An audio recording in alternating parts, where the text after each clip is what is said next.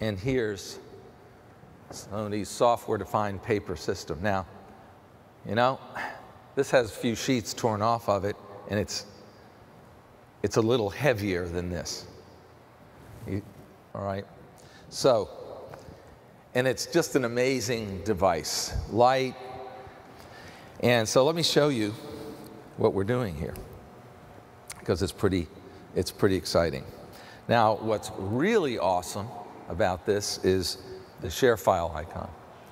So, integration with ShareFile, really important because devices like this create experiences.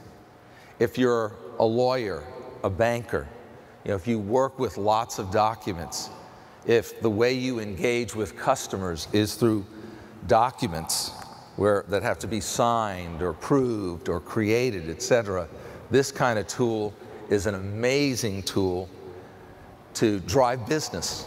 And that's what we want to do, drive business and business, business innovation. So we've been working with Sony on this. We're really excited uh, about the integration of ShareFile with the Sony digital paper system.